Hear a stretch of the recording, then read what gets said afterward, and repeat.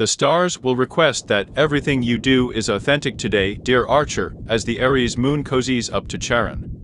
This cosmic climate could reveal how other people have influenced your personality, making it important that you take what works and leave what does not, all while adding your own flair into the mix.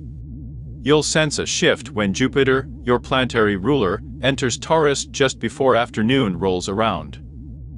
This celestial placement will ask you to examine your habits and routines throughout the next year and look for ways to expand your efficiency and overall sense of wellness.